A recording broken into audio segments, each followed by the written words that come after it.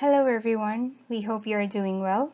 This is still part of the series of lecture videos for the Year 2 workshops of the Catchment Project, particularly the workshop on geomorphic change detection. In this video, we will discuss the LiDAR survey conducted during the project, which has three components, the acquisition, processing, and validation. First off, what is LiDAR? LiDAR or light detection and ranging, is a method of gathering topographic points by emitting laser pulses and receiving it back in order to produce a model of the terrain features present within the project area. It includes three technologies, the LiDAR scanning mirror, which sends out the pulses to measure the distance, the global positioning system, or the GPS, which gives us the location of the equipment, and the inertial monitoring unit, which is used to measure the pitch, roll, and heading of the platform. LiDAR systems may be classified based on its application, ranging technique, target detection principle, and platform where it is deployed such as spaceborne, airborne, terrestrial, ground-based, marine, and submarine. For this specific project, we use the airborne LiDAR system to capture an aerial image of the fluvial terrains of Bislak and Pinacanauan de Ilagan rivers and produce digital elevation models or DEMs for the years 2019 and 2020. Limitations and constraints from conventional ground surveys, such as use of transits and theodolites and other forms of traditional terrain data collection, paved way to develop this technology. At present, LiDAR is often used for its high accuracy of DEM, since it emits, it emits millions of laser pulses and provides location of each of these points with much precision. This mode of terrain survey is also proven to be cost-effective for larger projects as it covers a vast area at a shorter period of time. Since LiDAR can be mounted on different platforms, areas inaccessible by land, air, or water can now be measured or surveyed. Furthermore, since LiDAR technology is an active type of remote sensing, which means it has its own source of illumination, it can be used either day or night. LiDAR data is also versatile as it can be integrated with other data sources and numerous applications. However, LiDAR is not an all-weather system, since it won't be operational at extreme weather conditions. And large data sets may require high-end softwares and machines for processing.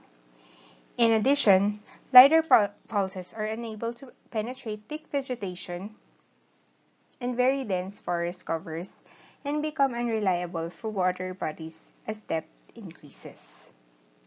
So focusing on our project, the overall LiDAR survey consists of three phases, the data acquisition, data validation, and data processing.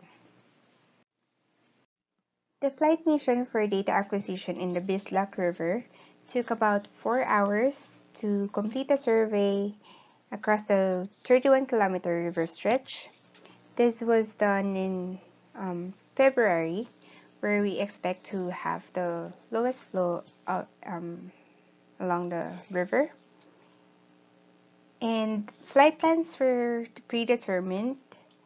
Weather was one of the top priorities before proceeding with the survey because the sky should be clear with minimal cloud cover as much as possible to avoid or minimize shadows, sun glints, and to capture a consistent and clear aerial image. So after the flight, the data were sent out to the processing team for checking. And um, so they'll check if the captured data points and ortho images are of acceptable quality. Because if not, um, a resurvey should be conducted. To make sure that positioning is accurate, control points are strategically established at um, locations accessible near the survey area in establishing control points, simultaneous observation of the NAMRIA control points benchmarks, and base control point was done for at least 4 hours that determined the horizontal and vertical position of these control points. So shown here is the distribution of the control points established for the project. The connection between two control points during observation are called baselines. And to determine the success of this survey, a certain precision has to be met by these baselines. Specifically, baseline horizontal error must not exceed 0.1 meter or 10 centimeters, and vertical error must not exceed 0.2 meters or 20 centimeters. When the required precision is not met, masking will be done. Basically, what masking does is it excludes observation wherein the connection between the GPS receiver and the satellites have been compromised. Reprocessing is done to see if the required precision is now met. So if the precision is still not met after masking, resurvey must be um, or maybe the best option. So from the table displayed shown here, it can be seen from the summary that the ground control um, survey met the required baseline precision. So the, all the horizontal um, errors are less than 0.1 and all the vertical errors are less than 0.2. Ground validation survey was done within the study area to determine the overall quality of the acquired data. This phase is very very important to check whether the acquired LiDAR points have similar coordinates or less residuals with the actual ground points. So in conducting the ground validation survey, at least two GPS receivers were used. One unit was set up at the established base control point and the other one was mounted on a vehicle as seen uh, here in the photos. The GPS receiver mounted on the vehicle is set up to continuously record points um, while the vehicle is traversing the study area. It is very important to note that the validation points should be measured at fixed and semi-permanent or stable locations which are, which are less prone to change position laterally and vertically over time like concrete roads and highways.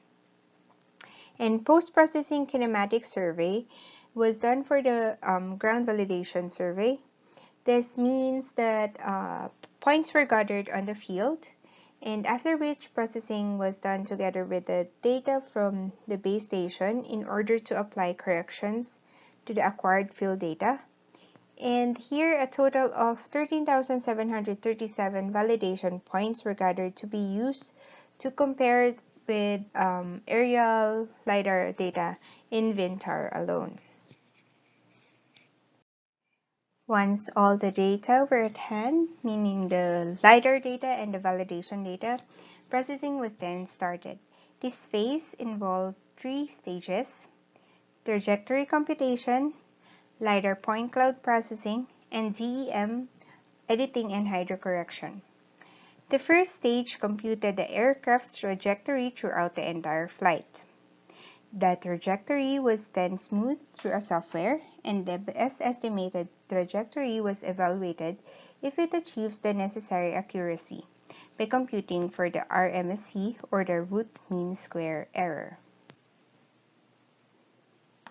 After trajectory computation, the processing team conducted point cloud rectification which assigns ground coordinates for each LiDAR point by merging the trajectory and the range file from the laser sensor. After generating a reference LiDAR point cloud, the overlapping areas arising from the variation in the computed trajectory were corrected by matching similar points from overlapping laser strips. So here, the overlapping strips produce a misaligned point cloud dataset and adjustments, and adjustments was done to correct this kind of distortion. Following the LiDAR point cloud adjustment, classification was done based on the point elevations. The LiDAR points were classified into ground, low vegetation, medium vegetation, high vegetation, and built-up areas or built-up features. The point cloud was then rasterized for it to be more suitable and accessible to different modeling and visualization softwares where the DEMs will be used. So the DSM or Digital Surface Model and the Digital Terrain Model or the DTM are both subsets of DEMs as previously discussed by Rich. The DSMs includes all the acquired LiDAR points portraying the actual surface of the topography, while the DTM filters out the built-up and um, vegetation features, leaving only the ground terrain. So the figures here below um, show the visual difference between these two. So here in um, you can see the uh, buildings and vegetation where in the DTM you are just left with the ground um, terrain. Of course, automatically produced DEMs inevitably have imperfections and errors that need to be manually corrected depending on the use and application. So for the catchment project where the DEMs will be used for hydrologic and hydraulic modeling, editing and specific hydro corrections were necessary. So some common problems where these errors are seen are in features obscured or obstructed by heavy canopy wherein limited LiDAR points can pass through. Examples of these errors are seen here in the images on the right. The top row displays a mountain that underwent data retrieval. The second row displays a building that has been removed after um, interpolation. And the third row displays an embankment before and after manual editing. Here. And the last row shows a bridge before and after interpolation. So I think that's it for the uh, LiDAR survey for the components of our LiDAR survey. And to better visualize what a LiDAR output will look like, shown here is a clip of a portion of the Bislak River this is the orthophoto and to its right is the digital er, eh, um, terrain model of the same portion. Both were um, taken during our repeat topographic survey in January 2020. Again, thank you for listening and we hope you enjoy the workshop and if you have any questions and clarifications, just um, please feel free to let us know. Thank you and have a great day.